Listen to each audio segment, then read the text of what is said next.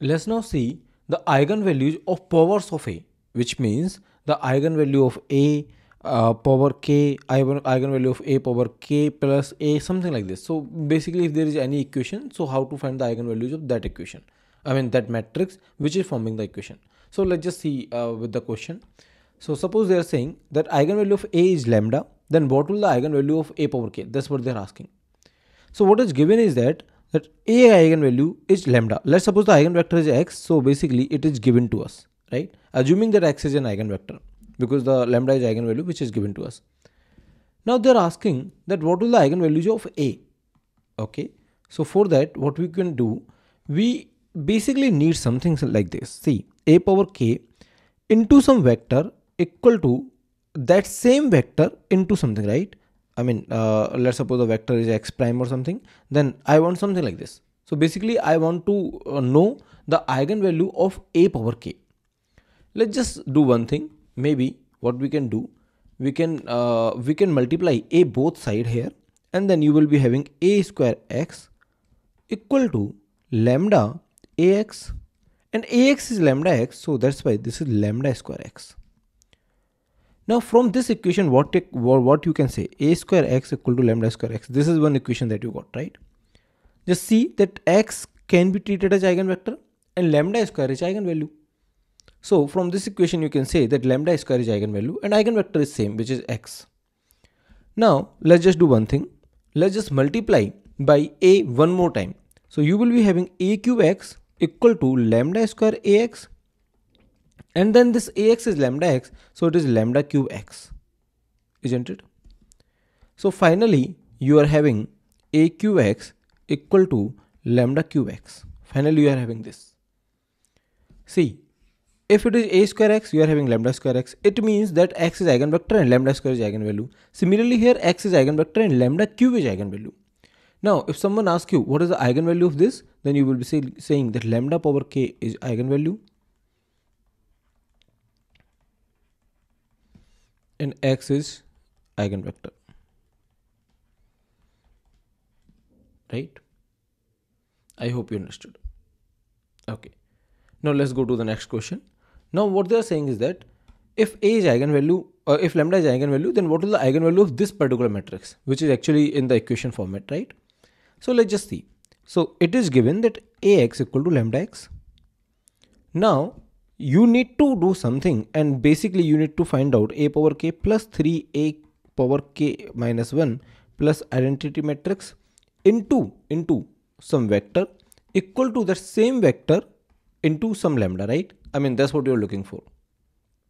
So let's do one thing. Like uh, you, since you don't know what will the eigenvalue and eigenvector, let, let me just try with the one thing, which is basically, let me multiply this particular thing with x. Remember, x is an eigenvector of A, not of this matrix. Like I, I actually don't know whether the x is eigenvector of this matrix or not. But I know that x is eigenvector of A.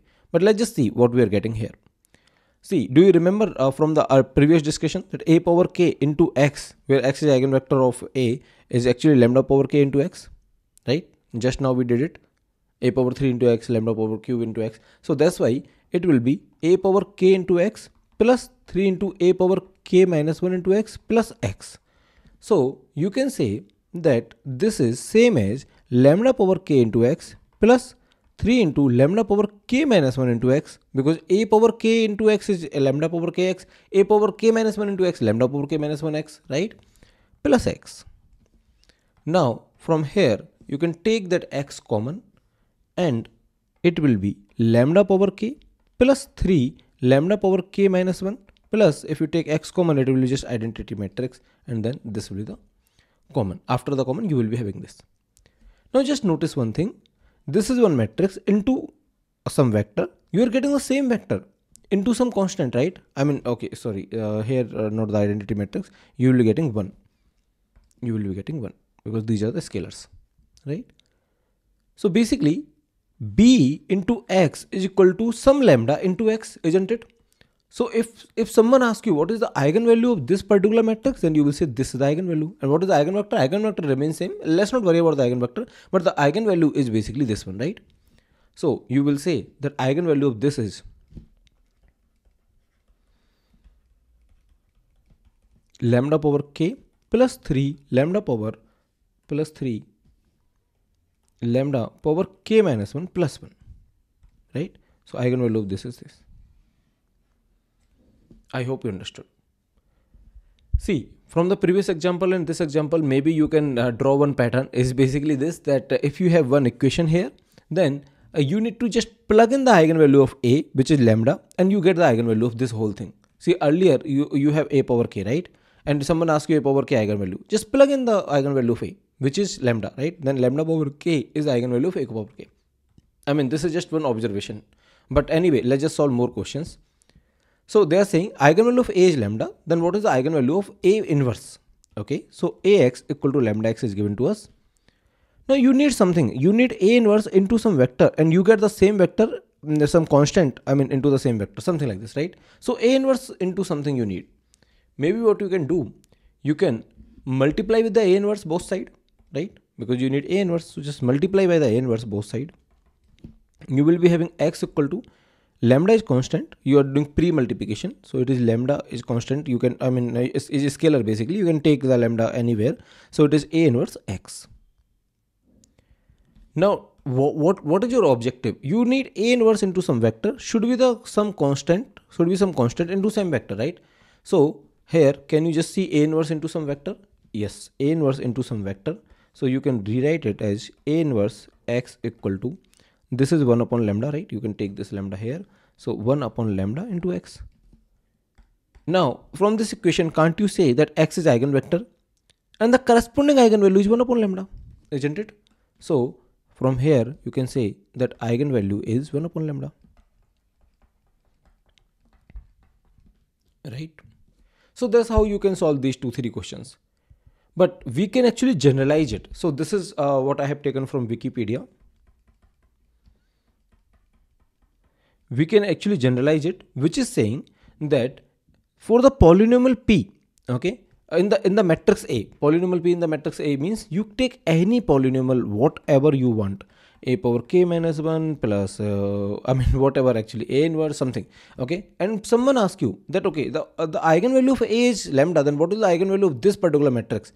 Then you say just plug in the value of lambda lambda power k plus lambda power k minus 1 I mean instead of a just plug in the lambda plus 1 upon lambda this is the eigenvalue of this particular matrix this is what this statement is saying. More generally, a polynomial P, the uh, for the polynomial for a polynomial P, the eigenvalues of the matrix PA, right? Which means this is PA basically. Okay, I mean they have written in some uh, uh, some complicated words, but I hope you understood that you take any equation, you plug in the eigenvalue lambda there, and then you get the eigenvalues of that particular equation or that particular matrix, right? Okay, so suppose if I just ask you, what is the eigenvalue of of 5a power 3 plus a square minus a inverse? Okay what the, what is the eigenvalue of this? Given that given that a's a's eigenvalue is 2 is lambda let's suppose then how you will solve it you just plug in the value of lambda, right? You just plug in the value lambda, lambda power cube plus lambda square minus 1 upon lambda. This is the answer. So very easily you can do that kind of question. Okay, so I just wanted to uh, bring you in, in notice that okay, you can solve these kind of questions very easily.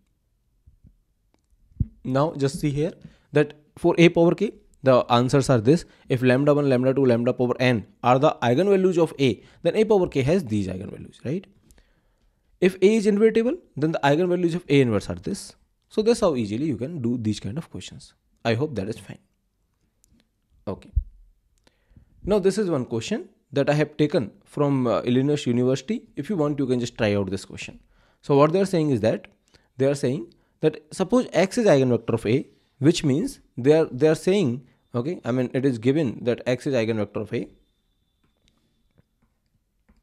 And then they are saying that the corresponding eigenvalue is lambda 1 and x is eigenvector of b also. And the corresponding eigenvalue is lambda 2 then what are the eigenvalues of this? So instead of this let me find out the eigenvalue of this particular thing which means a plus 1 by 2 b. And once I find out the eigenvalue of this then I, you know that I can do the inverse and uh, I mean 1 upon that will be the eigenvalue of this inverse so let's just multiply by the x.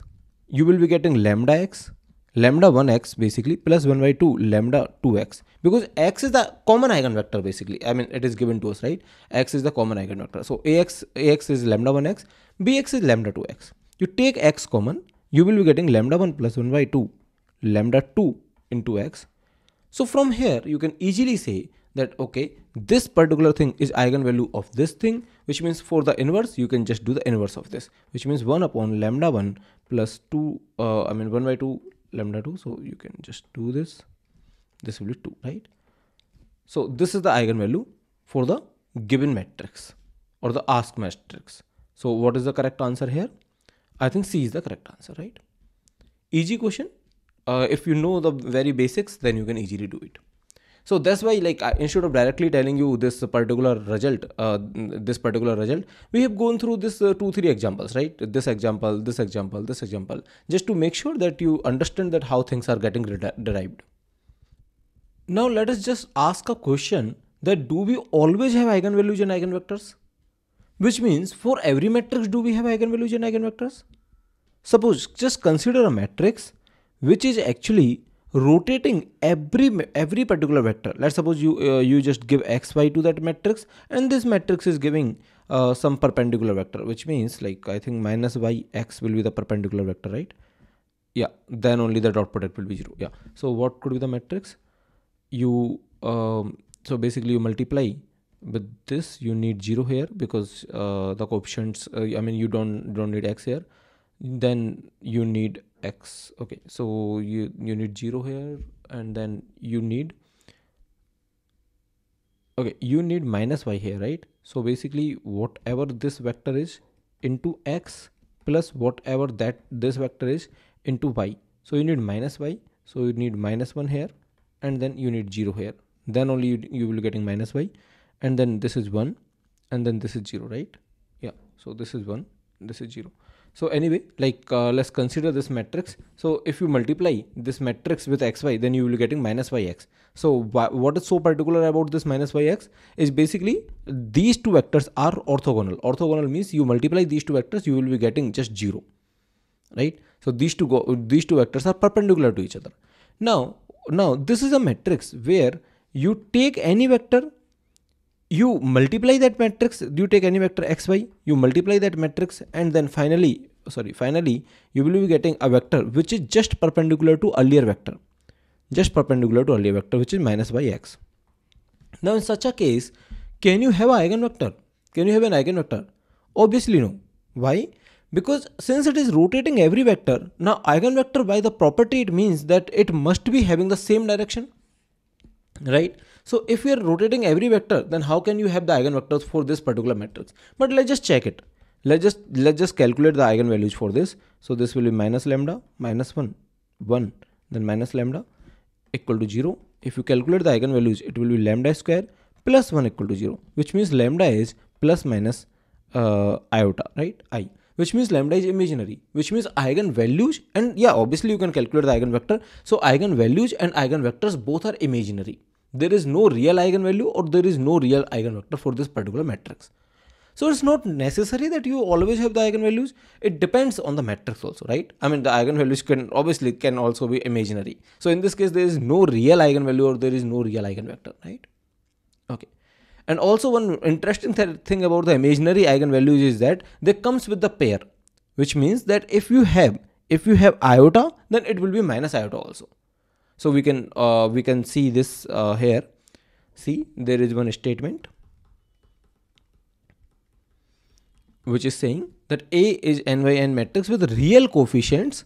If lambda is eigenvalue of A with the associate eigenvector V then lambda uh, conjugate is also the eigenvalue with the associate eigenvector V, uh, B conjugate. Which means they are given that Ax equal to lambda x right? Or or AV equal to lambda V okay instead of x they are saying V. If that is the case if that is the case where v a, sorry this a is actually having the real coefficients only right? But you don't know about the lambda and v you don't know. May be real may not be real right? You don't know. So they are saying that it must mean that if you conjugate this b then you will be having lambda conjugate v conjugate. Basically we need to prove it. That if if lambda is eigenvalue of a with the eigenvector v then lambda conjugate is also the eigenvalue with the eigenvector v conjugate right? So this is to be proved. This is to be proved here a is having the real eigenvalues uh, real real values real coefficients only. So what you can do so solution or maybe proof. So what you can do you take this you take the conjugate both side okay? Take conjugate both side.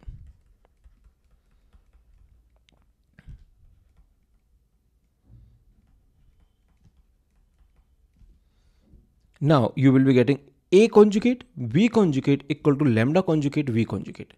But since a is real that's why a conjugate and a are same. So you will be having a here. And you don't know about this v. May be real may not be real. So let's just leave it as it is right? Similarly let's just leave this uh, lambda as it is. So now you can say that lambda conjugate if that is real then it is also lambda just equal to lambda. That's not an issue. But yeah but in general you can say that if lambda is the eigenvalue then lambda conjugate is also the eigenvalue i mean the, the imaginary eigenvalue always comes in the pair which means if you are saying that here the in the earlier example if you are saying the i is the eigenvalue or the iota is the eigenvalue then minus iota is also the eigenvalue. So for example if i just say that 2 plus i is eigenvalue is eigenvalue then it must mean that 2 minus i is also eigenvalue